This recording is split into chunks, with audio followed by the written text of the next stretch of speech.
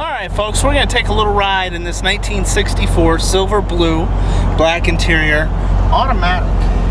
I get this question all the time. How's the automatic to drive? Not a lot of people remember them. They remember that four speed. Interior of this car is in excellent shape. Our gauges are like new. All real clear working order. Uh, our clock is not as of this time.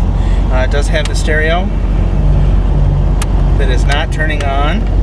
So we're going to say it's not working as of this moment right now.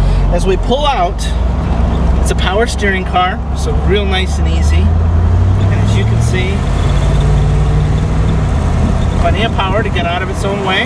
Nice and smooth and real comfortable, like an automatic should be. For a nice cruise, or even during those parades where you don't have to be on that clutch all the time, the automatic's a great choice. These are great for nice little day trips in the Corvette, down of course.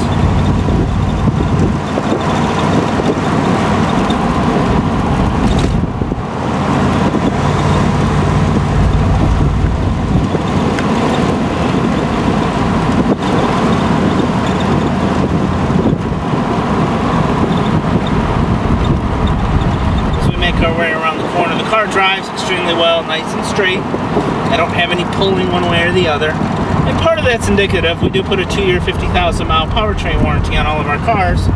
So we go through them. We do about a 300 point inspection. Uh, and we make sure that your brakes and your safety features on the car are all in good shape.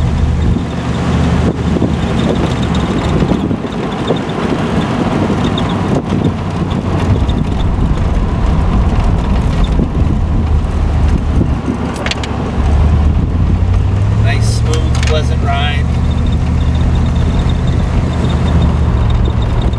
And as we turn the corner, we'll give her a little gas so you can hear it go down the road. But folks, if you need anything at all related to Corvettes, give me a call, 770-605-2056 or john at buyavette.net. And we'll see you on the road.